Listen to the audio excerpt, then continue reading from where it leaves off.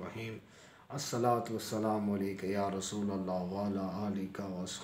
या नूर सल्लल्लाहु अला मोहम्मद जी अस्सलाम वालेकुम रहमतुल्लाह जी आज की अरसान अरबी के में हाजिर हूँ अब्दुल रसूली नबी तो अब्दु मुजाफ और रसूली मुजाफले मुजाफ और मुजाफले होकर मरकब इजाफ़ी होकर, मुबतदा नबी इसकी ख़बर और सिफ्त शबा का सीगा भी होकर, फिर इसमें ही निकाल कर फिर उसके बाद इसकी ख़बर बन जाएगी। हमने डायरेक्टली ख़बर बना ली तो ख़बर, मुबतदा ख़बर मिलकर जुमला इसमिया खबरिया हुआ।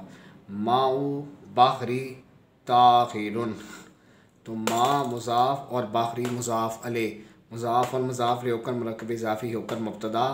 ताखिर इसकी ख़बर, मुबतदा और ख़बर मिलकर जुमला इसमिया खबरिया हुआ। अल्लाह हजूर के ने पाक कसद को उसको अपनी बारगाह में कबूल मंजूर फरमाए, बख्शिश का ज़रिया बनाए।